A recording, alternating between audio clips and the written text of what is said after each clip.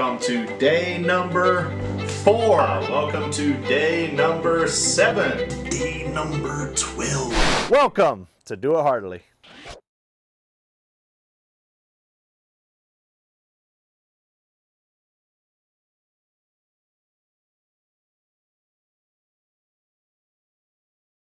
Greetings from Gray Court, South Carolina. Long ways from you folks, but I count it a privilege to be in your presence today, even via video. Now, in Scripture, there are all kinds of examples I can give you, but I'm going to give you one that I just recently spoke on. It's real fresh in my brain, so I want to remind you of what this passage says. Now, I'm going to hold this up kind of high because I don't want you to just have to stare at the top of my bald head shiny bald head. It says down in Mark chapter 2. Do you, any of you have a Bible? You know, if you have a Bible, it'd be a good time. Well, I can wait on you if you want. You know, a lot of people don't know where the books of the Bible are.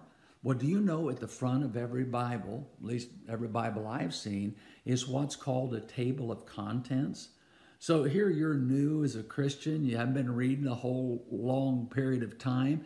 So what you do, you go to the front of your Bible and you can find exactly the page number of the book the preacher is talking about. Then you don't have to, you know, fumble through the whole Bible trying to find this passage, that passage, or the other, and it's right there. It's a great tool as far as reading and studying and really knowing where certain passages are, and again, not missing what the preacher or the teacher is presenting to you. So if you haven't found it yet, just hold on and listen. I'm going to read it for you. But in Mark chapter 2, it says, And again, he entered into Capernaum. Now, who's he? Well, it's talking about Jesus. It says, He entered into Capernaum, and after some days it was noise that he was in the house. In other words, it was the talk of the town. Jesus is over there. And boy, people wanted to get to Jesus because he's the miracle worker. He's the one that's just, again, uh, doing a work of God like we've never seen before. But let me continue on with the story, or we'll run out of time here. It says, And straightway many gathered together, insomuch there was no room to receive them, no, not so much about the door. And he preached the word unto them.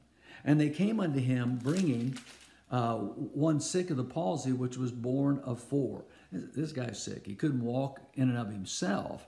Someone had to bring him. He's been this way since he was four years old. I'm not sure how old he is at this point, but let me continue on in verse 4. It says, And when they could not come nigh unto him for the press. What? what can y'all tilt your head and go, What? Yeah, let me hear it, right? What? Yeah, what, what's the press? Is that the local newspaper or something? Those aren't real popular or out there too much today either. No, it's just a great crowd. They, they couldn't get in to bring this guy to Jesus. It says they uncovered the roof where he was.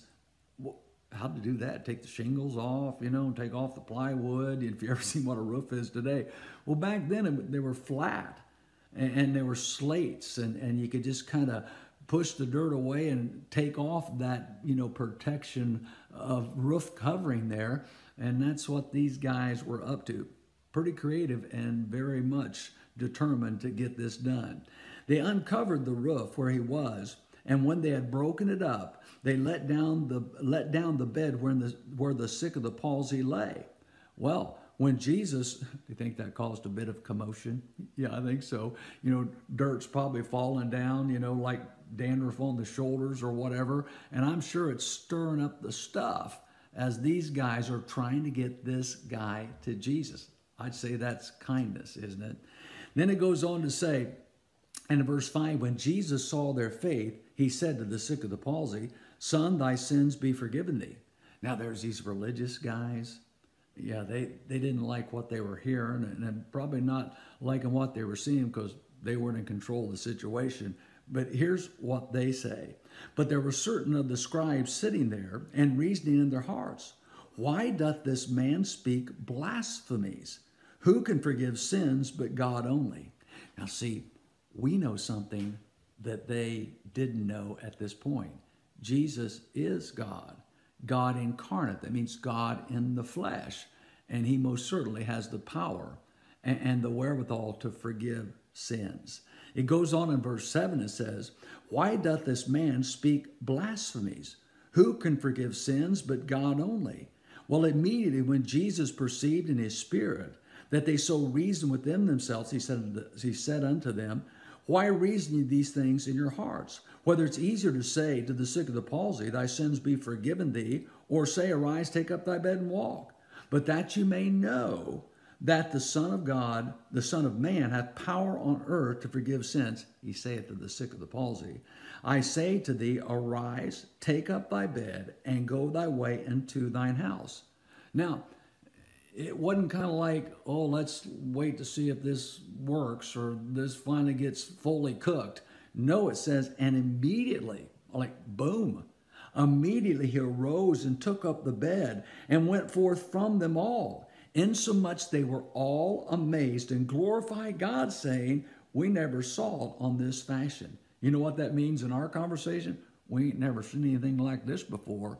Yeah, they're they're wow, they're blown away. Here's this guy, they've probably known him his whole life. He, he couldn't walk. He, he had this incurable disease, and boom, through the power of God's working, he's walking out of the place. That's a wowing moment that these people were blessed to observe.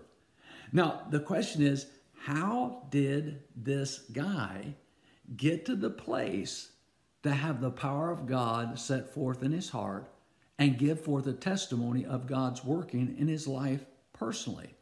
Because someone cared. Yeah, someone cared. Folks, I think the problem today is we care, but we really don't care enough. You know, we are selfish people. And boy, we got to battle that, and we will battle that until we die. But through the power of God, we've got to have this kind of thinking and this kind of heart. I must, I must, I must get people to Jesus. C- can you say that with Mr. Manor? I must, I must, I must get people to Jesus. That's what we're here to do. You know, last week I was preaching in a family conference and I gave them this challenge. You know, folks, why did Jesus come to this earth? Well, he came to seek and to save the lost. And why did he leave us behind? You know, when we got saved, boom, we could be taken to be with Jesus in heaven for all eternity. But he's left us here on the earth. Why? So we can seek and save the lost. So we can get people to Jesus so they can know him as Savior then have him as their Lord and, and, do ministry unto others and be used of God in a phenomenal, impacting, eternal way. And we get to be a part of that process. All I can say for that is amen. And again, I say amen. But folks, we must, we must, we must get people to Jesus.